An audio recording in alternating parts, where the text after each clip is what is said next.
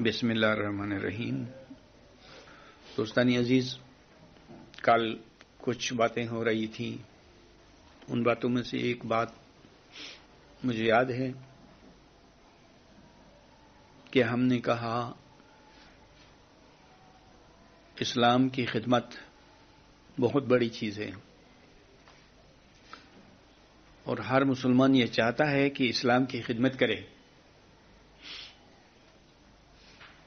लेकिन इस्लाम की खिदमत हर मुसलमान के नज़दीक मुख्तलिफ़ है, दूसरे मुसलमान से। यानी हम बहसीती इस्माइली ये समझते हैं कि इस्लाम की खिदमत दो हिस्सों में है।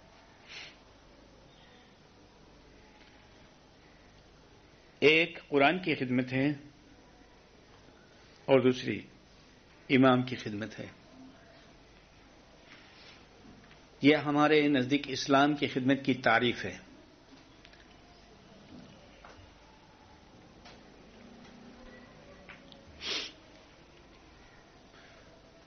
लेकिन हमारे दूसरे बरदरान कुरान ही की खिदमत पर इक्तफा करते हैं। यानी उसी को इस्लाम की मुकम्मल खिदमत करार देते हैं।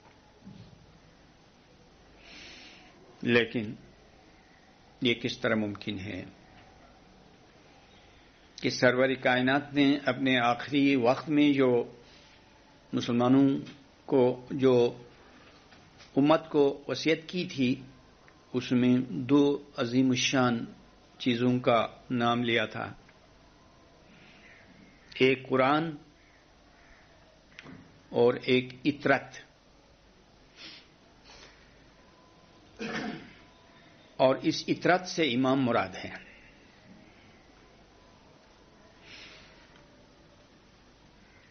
कुरानी हिकमत में भी इन्हीं दो चीज़ों की तरफ़ इशारा है।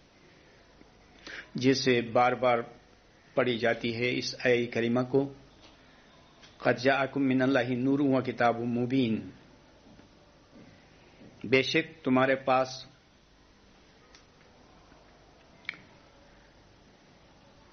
अल्लाह की तरफ़ से एक ताबान दुरक्षान नूर आया है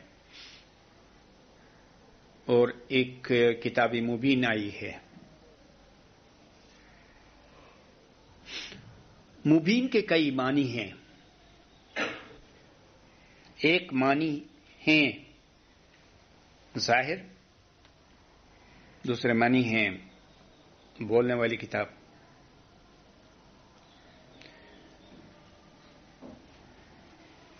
और ये बोलने वाली किताब उस वक्त है जबकि इसको नूर की रोशनी में रखा जाए यानी जहाँ कुरान इमाम के साथ है, वहाँ कुरान बोलता है, लेकिन बातिन में बोलता है, रूहानियत में बोलता है।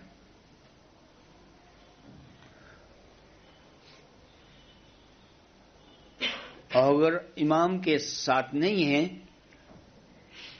तो इसको किताब सामित कहा जाता है, खामोश किताब।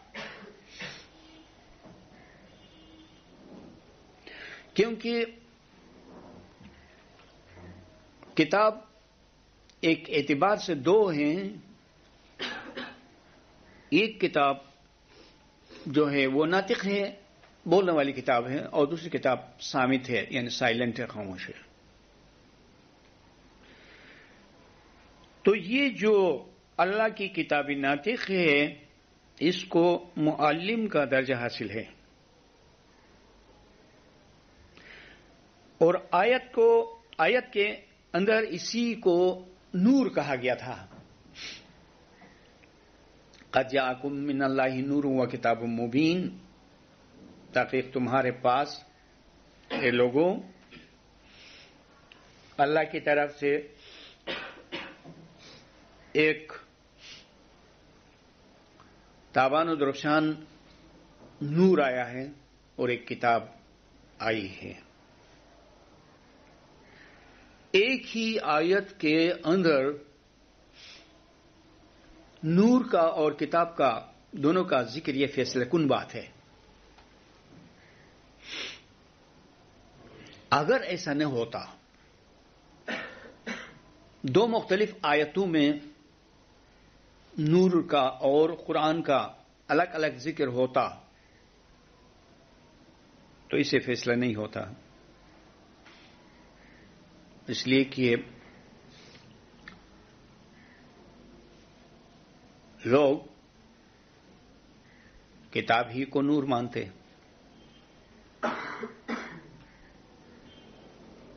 और कहने लगते हैं कि ये नूर से कुरान मुराद है। इसलिए खुदा ने फैसलेकुन अंदाज में एक ही आयत के अंदर दोनों अजीमशान चीज़ों का एक साथ ज़िक्र फरमाया।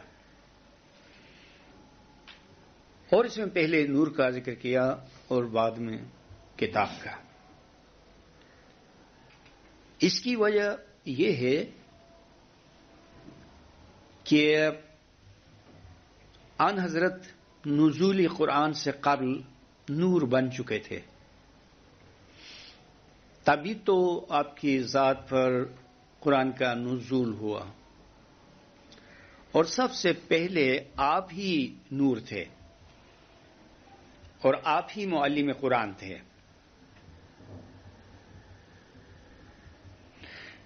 यहाँ पर मैं ज़ोर देकर यह अर्ज़ करना चाहता हूँ कि आप सबसे पहले पैगंबर अकरम को मानिए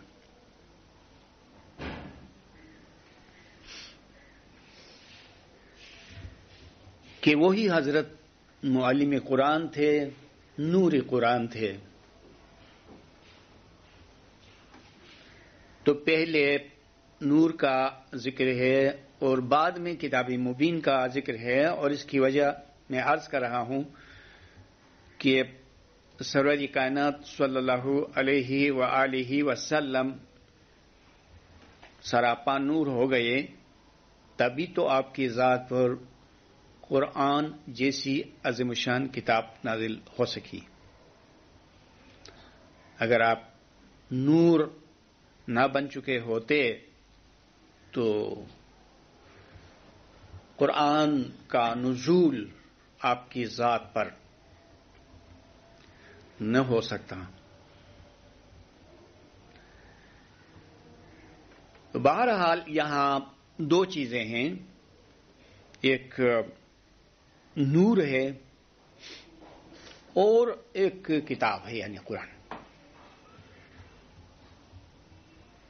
अब चूँकि कुरान के कई मकामात पर नूर की दायमियत का ज़िक्र है ये फरमाया गया है कि नूर बुझने वाला नहीं है।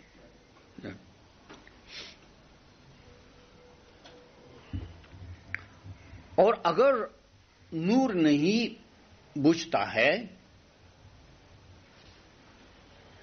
तो फिर यही बात सही है कि नूर की मुंतकली नबी से इमाम में हुई। चूँकि नूर को बुझना नहीं था, और वो तो नूर हिदायत है, और दुनिया में हमेशा हिदायत का निज़ाम कायम दायम है, इसलिए वो नूर पैगंबर से इमाम की शख्सियत में मुंतकिल हो गया। इसीलिए हम वापस उस हदीसी सकलाइन की तरफ़ जा रहे हैं। अनहजरत ने फरमाया कि अब मैं तुम्हारे लिए दो गिरान कदर चीज़ें छोड़ने वाला हूँ। और वो दोनों अजीम चीज़ें दो रस्सियों की तरह बाहम हैं, मिली हुई हैं। और अगर तुम इनसे तमस्सुक करोगे, यानी इनको पकड़े रहोगे तो कभी भी गुमराह नहीं हो जाओगे। और ये हौज को सर तक जा रही हैं, दोनों रस्सियाँ।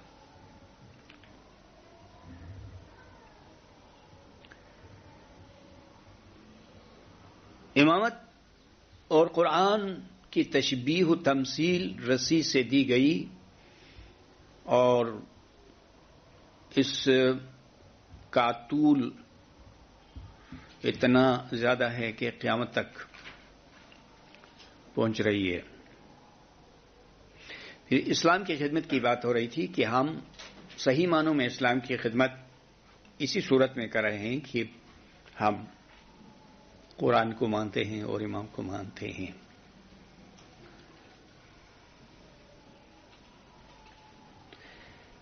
कल की गुफ्तगु के हवाले से अब आइए एक और नुक्ते को कुरान के हवाले से बयान करना चाहते हैं कि किस तरह इमामत के तस्वुर से कुरान फहमी में आसानियाँ होती हैं। कुरान के समझने में मदद मिलती है। और अगर इमाम को न माना जाए तो कुरान फहमी, कुरान का समझना बहुत मुश्किल काम है। बहुत मुश्किल काम है।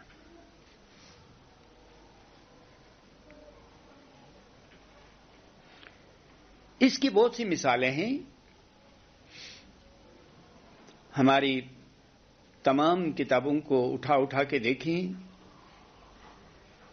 कि उनमें आपको ऐसी मिसालें मिलती रहेंगी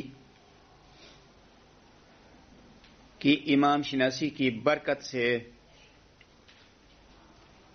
कैसी कैसी हिकमतों का पता चलता है कैसी कैसी डिस्कवरीज होती हैं कैसे कैसे इंकशाफात होते हैं और कैसे असरार हैं जो इमाम के मानने वालों के पास हैं और दूसरों के पास नहीं है।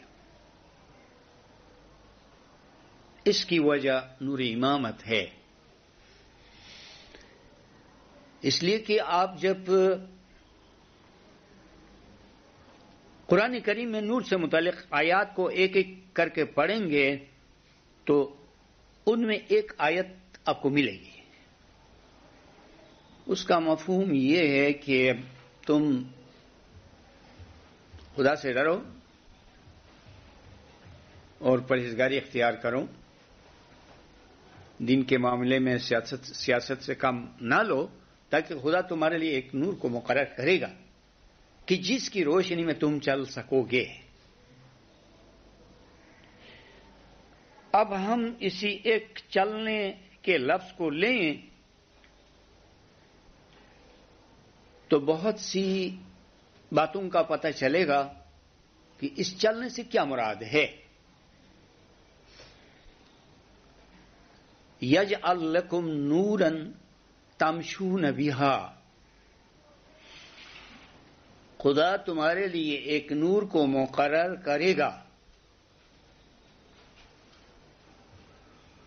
कि जिसकी रोशनी में तुम चल सकोगे और चलोगे।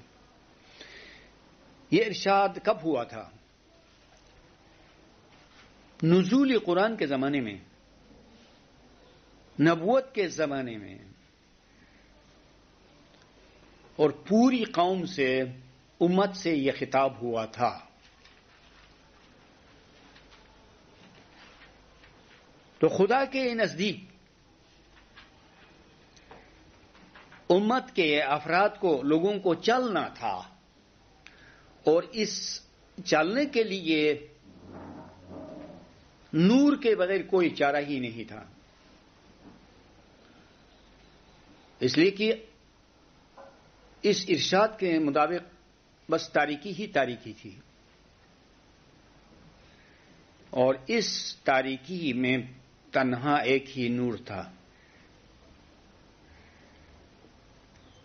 क्या खुदा ने जिसको वो नूर मुकर कर दिया तो वो कामयाबी से चलने लगा। और अगर ऐसा नहीं हुआ तो बस तारीकी ही तारीकी इस आयत की हिकमत ये है, मफहूम ये है। अब सवाल ये पैदा होता है कि इमाम शुरू से लेकर आखिर तक जामई बशरियत में जब मौजूद था तो फिर कुछ को मुकर करने और कुछ को मुकर न करने की बात कैसी हो गई? और नूर के तकर्र की शराइत क्यों हुई?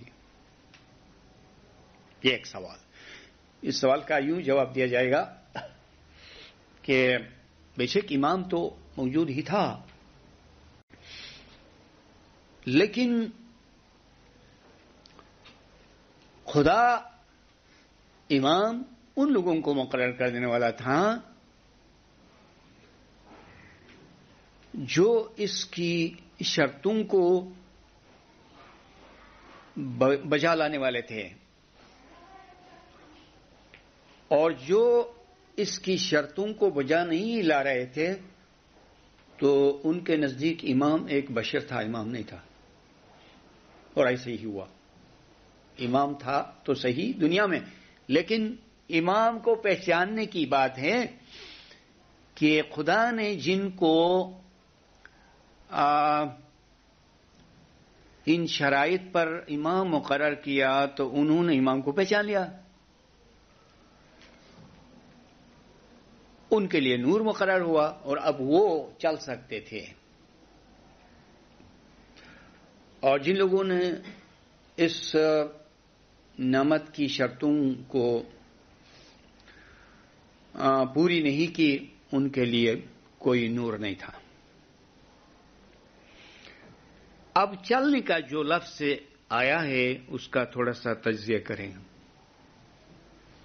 तो दुनिया में चलने के लिए तो यही सूरज आ, है और इसकी रोशनी काफ़ी है और ये चलना कहाँ है और किस रास्ते पर है? ये चलना जो है इलम की राहों पर चलना मुराद है रूहानियत के रास्ते पर चलना मुराद है।